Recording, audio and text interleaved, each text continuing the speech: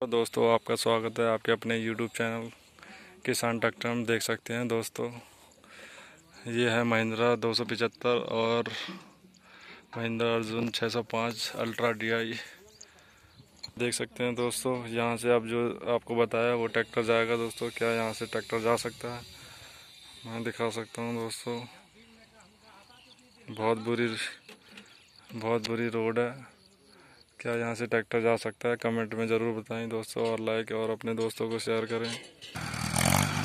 देख सकते हैं दोस्तों टू चन स्टार्ट हो गया। क्या यह ट्रैक्टर लेके जा सकता है?